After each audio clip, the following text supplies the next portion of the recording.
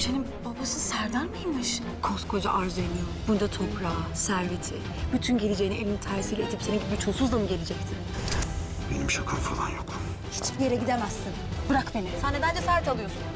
Buna güveniyorum buna. Elif, Δευτέρα στις 6 παρα 20 το απόγευμα.